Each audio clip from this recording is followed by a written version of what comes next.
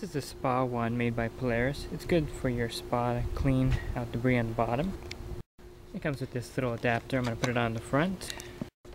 And this works really simply by a pump action. You get the water through it. You just simply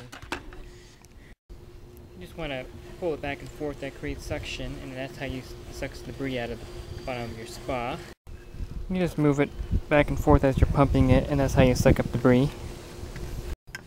It's pretty effective getting debris out. If you have some small particle debris or dirt or sand, it just sucks everything up on the bottom. So I'm going to suck up this worm here that's on the bottom. I'll show you how that works. So basically I, I'll create the suction. See the worm going in there. Here's another caterpillar. And it's really easy to clean out. You just take this off. This thing pops right out.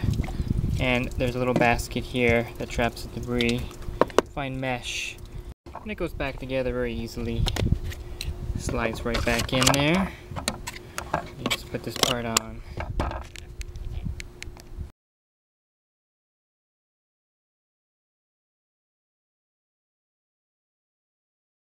And occasionally you go to use it and you'll see that the debris um, basket has slid up into the chamber and that's because it wasn't on properly and I'll show you how to avoid that happening. And if you look closely you'll see notches right there on that. There's also notches here where it hooks on. So you gotta actually slide it on and then give it a little twist and that'll keep it from falling off. Okay, so we'll go ahead and slide it on.